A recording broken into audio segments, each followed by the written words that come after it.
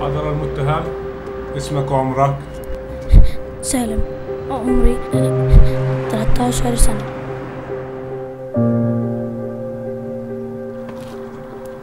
سالم يا سيدي الحمد لله على سلامتك تعال يا بني تعال.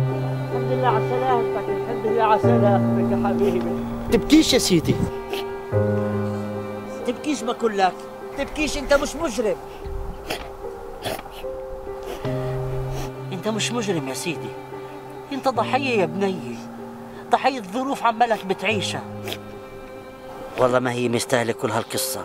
شهر بطوله بين شرطة ونيابة ومحكمة وفوق محطات وعبي.